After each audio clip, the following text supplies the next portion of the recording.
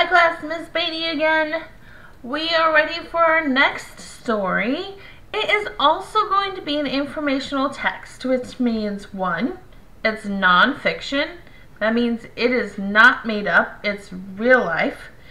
Um, the information in it is real things that happen and that they want to teach you about. Um, this story is called Zinnia's Flower Garden. It is by Monica Wellington, and again, she is the only one listed, so that means she is the author because she wrote the words, and the illustrator because she did the pictures. I also have my flower chart ready to fill in my details on the petals and my main idea either in the middle if I can fit it or down here. So, here we go. Zinnia's Flower Garden.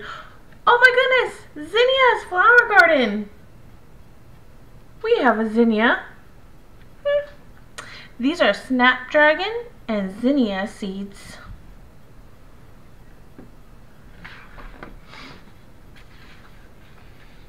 There's our title page. She has some seeds. Oh, sweet pea and sunflower also. This is our table of contents. This is towards the front of the book and it tells us what is inside this book. If you look, there's Zinnia's flower garden, but it also has growing sunflowers story. We'll do that. We'll do that story the next. We'll do that story tomorrow. Let's see. Ooh. What do you think the story might be about? The title is Zinnia's Flower Garden, so what does that tell you? Hmm. Maybe there's a girl named Zinnia. Maybe she has a garden. This picture kind of tells you maybe those same things. If you see she's got some gardening tools here. She's got a little plot over here that she might be making into a garden. Let's see. Spring has arrived. Zinnia is getting her garden ready for planting. She digs up the soil and turns it over with her shovel. She takes out stones and rakes the dirt smooth. The warm sun feels good as she works. Ooh, what do you think she might write in my garden journal? Hmm.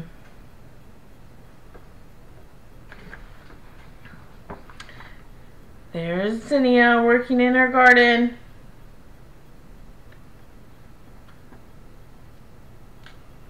Why do you think she might want to be planting a garden?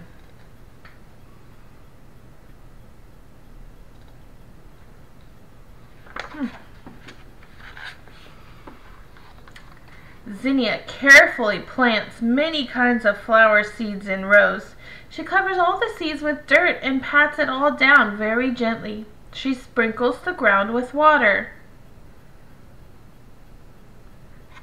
May 3rd. Very busy planting my seeds today. Such hard work.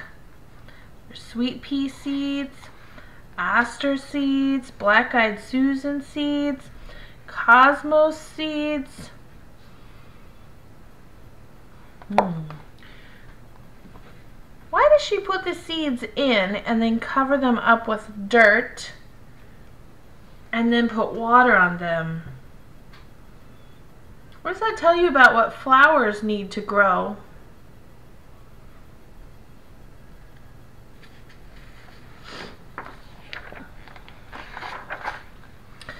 Zinnia waits for the seeds to sprout. The seeds need the sun to shine, the rain to fall, and many days to pass. It is hard to wait so long for her seeds to grow. Ooh, this is some science about clouds. Stratus clouds, see how it's kind of thin and flat? Cumulus clouds, kind of puffy. Cirrus cloud, they're really wispy.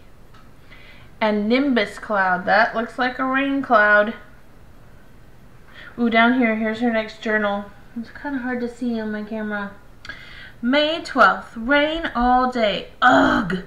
But it is good for my garden. This page told you the seeds need the sun, they need rain, and they need time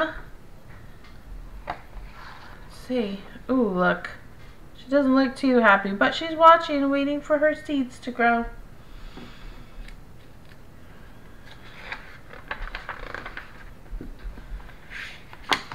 Every day, Zinnia checks her garden to see if anything has happened.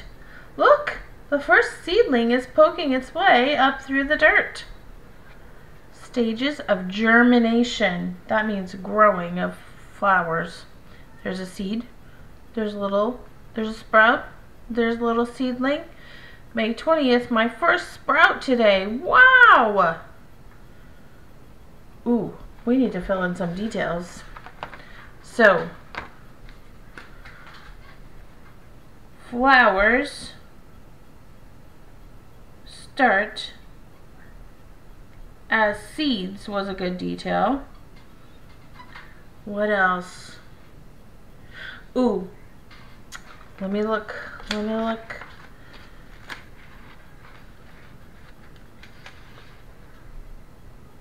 Ooh, seeds go in the ground. What about the next one? What was it that seeds need to grow?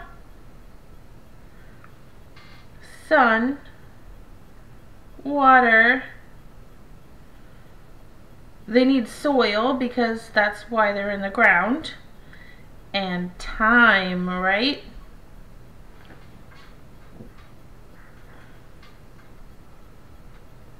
Okay. Let's look. Oh, look. Here she is looking at her little seedling. Hmm. Now, Zinnia's garden is full of green sprouts growing toward the sun. Little stems grow taller. Little leaves get bigger. Little roots burrow deeper into the earth. May 29th. Lots of sprouts now. I can't even count them all.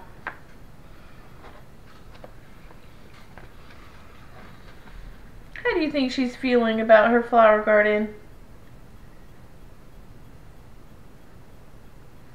She looks pretty excited. Zinnia takes care of her garden every day. When the sun is hot and the soil is dry, she waters her thirsty plants. June 17. No rain for a week. My garden is so dry. There she is watering her garden. Ooh, that's a good one. When the sun is hot, gardens need water. Yep. Okay. See what's on the next page. First thing in the morning, Zinnia runs out to check her garden. She is excited to see little buds growing on many of her plants. July 18th. My zinnias have buds. I wonder what color they're going to be. Look down here at the bottom. Do you remember our life cycle of the pumpkin? Here's another life cycle of the butterfly. Life cycle of the butterfly. Eggs, caterpillar, chrysalis, adult, ready to fly. There she is running out to check her garden. What color do you think her zinnias are going to be?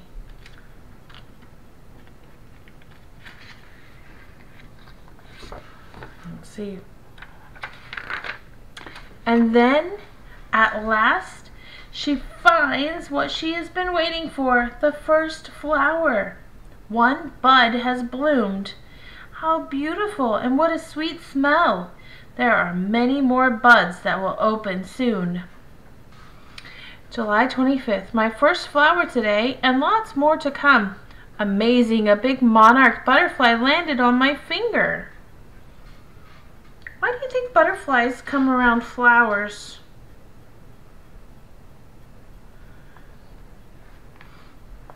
Oh, here's all the parts of a flower. Here's the pistil, the stigma, the style, the ovary, the sepal, the stem, the receptacle, the petal, the stamen. Oh, and there's the pistil again. That's the filament and the anther. Those are parts of the stamen right here. All those parts to make a pretty flower. There she is with her very first bud.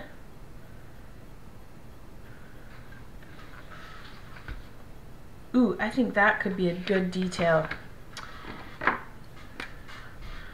Flowers have many parts. I don't have room to write them all, but we could just put flowers have many parts. The garden grows and grows with blossoming flowers. Zinnia paints, reads, and picnics among them. Butterflies flutter, bees buzz. Zinnia's garden is her favorite place to be on these warm summer days. August 11th. I love my garden. There she is with all of her beautiful flowers. That's a lot of hard work that she put in. Do you think that would be that special? Do you think she thought it would be this special by the time she got done with all of her hard work? She was looking forward to a great garden and that probably made the work a little bit easier. Her flowers are abundant and Zinnia cuts some to arrange into bouquets. The fragrant scents of the flowers swirl around her in the warm breeze. Abundant. What does abundant mean? Hmm. Cosmos, marigold, sunflower, snapdragon, zinnia, black-eyed Susan, sweet pea, sweet William, aster. Ooh, August 21st. My sunflowers are taller than I am. Oh, look here. There's her sunflowers that are taller than she is. Wow.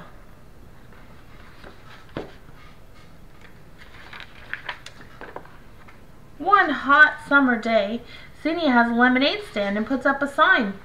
Pick your own flowers.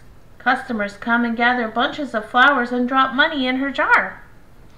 Don't forget to smell the flowers. August 28th. Busy today at my stand. Everyone loves my flowers. Ooh, look. Quarters. Nickels. Dimes. Four quarters make a dollar. One, let's see. One, two, three, four, five groups of four. Five, ten, twenty nickels make a dollar. A dollar is how many cents? 100. So 10 tens make a dollar. 10 dimes make a dollar. She even, for all of her hard work making her beautiful flower garden, made some money from it too. Pick your own flowers. Lemonade for sale. So not only did she get to enjoy her beautiful flowers, she got to make money for her work too. In the autumn, as it gets colder, Zinnia picks the last flowers from her garden. She finds ripe seeds that have formed. They are ready to be collected. She will save them to plant next year. That sounds like a cycle that we know about. Because they planted, she planted the seeds, then they grew into a seedling, then they grew bigger, then they got a bud, and then they made some more seeds to go around and around in a cycle. From flower to seed. Flower, the petals fall off, makes a little holder for the seeds, and then it drops out the seeds. Here's the stigma again. Maturing ovary, growing seed, stamen, sepal, stem, petal. October 13th, lots of seeds. I'll leave some for the birds. Birds like to eat seeds. Just got a big sunflower. The winter days are short. The sun is dim and the ground is covered with snow, but Zinnia is already planning next year's garden.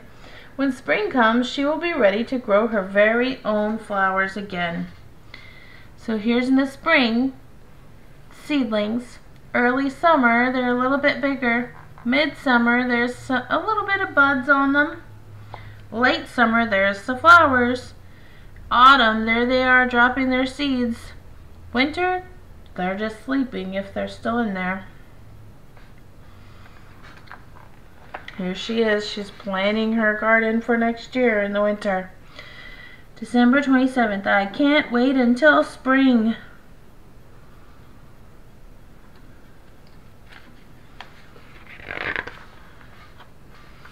Okay, I think that is the last page. Yep, that's the last page.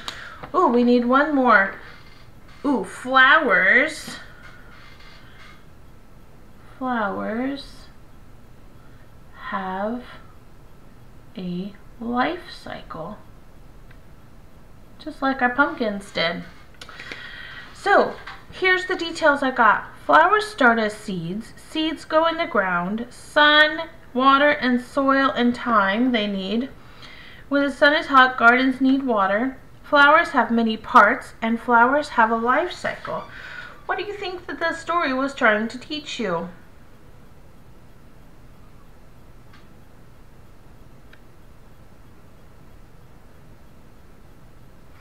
I think a good thing that it was trying to teach you is that I'm going to go down here. Flowers have a life cycle and need specific, that means certain specific things to grow. Just like in our last story, all the the living things needed different time and different food to grow. Flowers need specific things to grow too. I hope you have a good day. Talk to you next time.